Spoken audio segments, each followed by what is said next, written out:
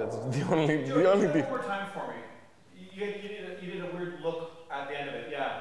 So, uh, question, so Don't you? off the hand.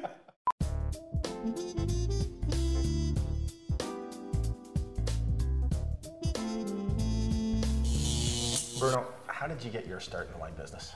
Never meant to be in this kind of business, but uh, the life turned a little bit different. Uh, my grandfather left me a small vineyard, uh, something like two, three hundred plants. At that time, nobody wanted to work in that vineyard. For us, it was nothing. Just don't let it go to waste. First year, we did something called a wine, and uh, at the end of the harvest, there was just a place uh, at the university for winemaking in Poreč. So I went in, and after a year of that, I saw myself actually doing quite okay in this kind of work. And the story goes on from there. So that was 2003. In 2004, we did something like a few thousand bottles. 2005, doubled that. And then in 2006, we changed to our label, new logo. And I think that, the, that year we planted the new vineyard and uh, then we started Pro. Considering now you're in your fifth vintage, what is your annual production? We are now around 40 to 50,000 bottles, depending on on year. You know, since we're doing uh, uh, organic farming, some years a little bit better on yields, some years some years you lose a little bit of diseases, but uh, you know that's that's for now. But since we planted a new big vineyard, I think in the next few years we'll grow up to 80, 90,000 bottles.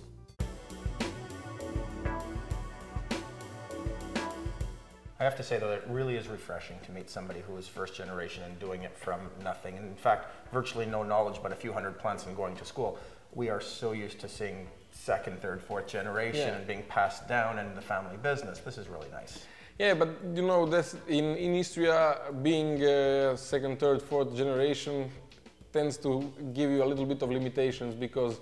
Oh, when you try to do something, your grandfather, your father, someone says, "Oh, this is not the way. Don't risk it."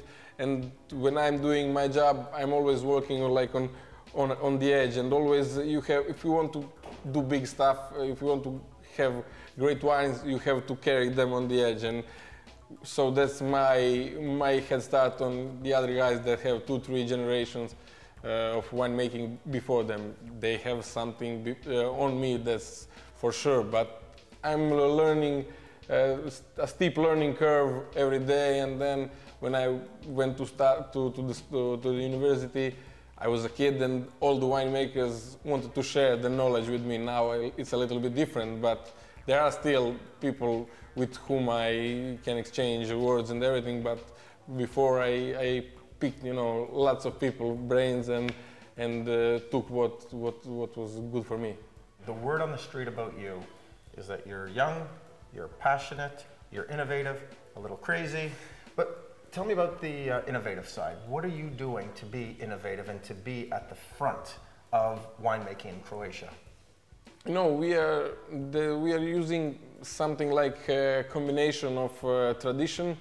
In Istria, tradition in winemaking means acacia barrels, and uh, in combining with, with modern technologies. So we are using a little bit longer maceration on the whites, uh, combining with barrel fermentation uh, in the acacia barrels.